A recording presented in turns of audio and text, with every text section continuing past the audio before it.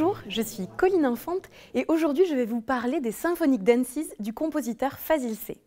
Personnage atypique de la scène musicale internationale, Fazil C est un compositeur et chef d'orchestre turc né en 1970 à Ankara.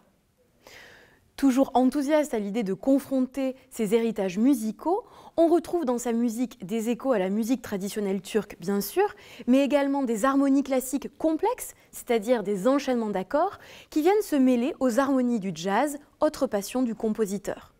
On retrouve également dans son œuvre des pièces du grand répertoire, comme la marche turque de Mozart ou encore des pièces de Paganini, pour lesquelles Fazil C va proposer des improvisations jazz très audacieuses.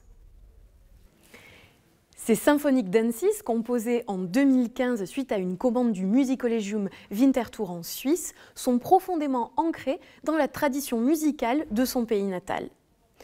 Les Symphonic Dances sont découpées en quatre parties, quatre mouvements. Un premier mouvement introductif, suivi d'un moderato, modéré, un lento, le mouvement lent, et un final triomphant, l'allegro assai. Chacun de ces mouvements est extrêmement contrasté et rythmé, et Fazil C joue justement sur ce rythme pour trouver un certain swing. On va donc retrouver des mesures, des carrures irrégulières, c'est-à-dire qu'au lieu d'avoir des enchaînements comme par exemple 1, 2, 3, 4, 1, 2, 3, 4, etc., on va avoir des mesures dont les nombres de pulsations sont différents.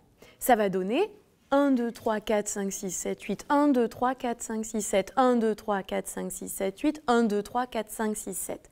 Ce qui va créer une instabilité rythmique et donc un côté presque jazzy assez dense. Fazil C utilise énormément d'effets également pour donner du dynamisme et de l'énergie à ses pièces.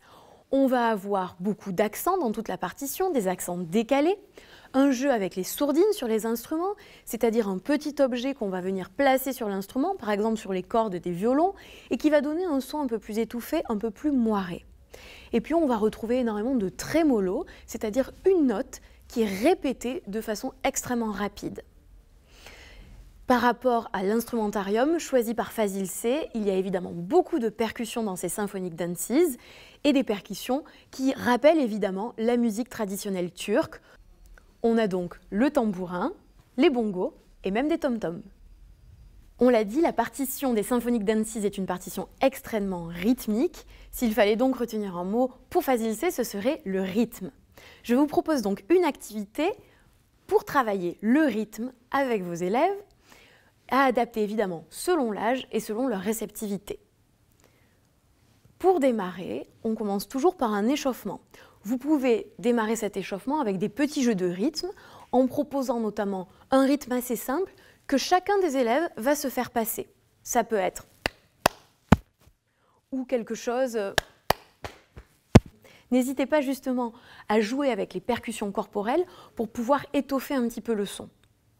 Si cet exercice marche bien, vous pouvez le compléter un petit peu et le complexifier pour toujours solliciter l'attention de vos élèves en leur demandant de choisir à qui dans le groupe ils vont passer le rythme, juste en, désignant leurs camarades. Encore une fois, vous pouvez complexifier un petit peu ce jeu en décidant à un élève d'inventer un rythme très simple, par exemple, et chacun de ses camarades va rajouter un petit rythme. Ça vous permet de travailler sur la mémorisation et de voir comment évolue un rythme au sein du groupe.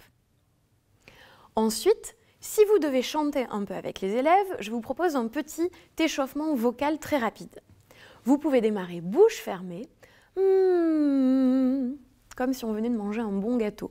À chaque fois, démarrer sur une note différente, hmm, pour avoir des hauteurs différentes.